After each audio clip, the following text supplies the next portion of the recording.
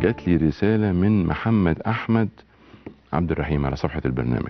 بيحكي إن عنده 26 سنة من محافظة أسوان وبيقول إنه أنا على قد حالي و... وإنه هو ربنا رزقه بطفل اسمه أحمد عنده أربع شهور اتولد بتشوهات وعيوب خلقية في الوجه. ولف على دكاترة كتير وعرف إنه لازم يعمل عملية على أربع مراحل بتكلفة حوالي 200 ألف جنيه.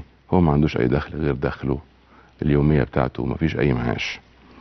يعني الحقيقة حالة كانت صعبة قوي الحمد لله بعد ما جات لنا على طول اشتغلنا على الحالة وقدرنا إن إحنا بالتعاون مع الدكتور أحمد سراج رئيس قسم جراحة الوجه بجامعة اسكندرية إن إحنا نعمل له المرحلة الأولى من العمليات في مستشفى مبرة العصافرة ومكملين معاه مشوار العلاج لغاية ما نوصله إن شاء الله لبر الأمان. تعالوا نطمن عليه.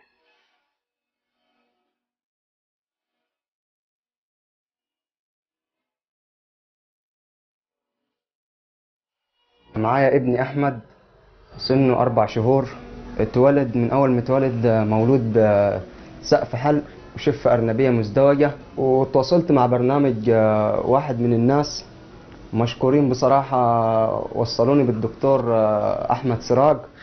ودلوقتي الحمد لله يعني إحنا جايين في المستشفى جايين نعم- نعمل له أول مرحلة. تكلفة ال- الأربع عمليات أو الأربع مراحل 200 ألف جنيه. الحمد لله النهاردة هيعمل أول مرحلة برضه شكرا للبرنامج واحد من الناس والدكتور أحمد سراج.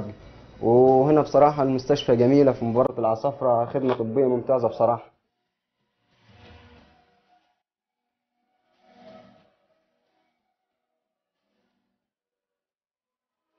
حالة أحمد.